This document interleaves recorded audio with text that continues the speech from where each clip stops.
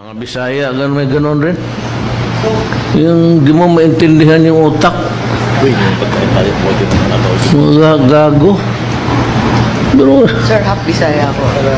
Oo, hap mo lang.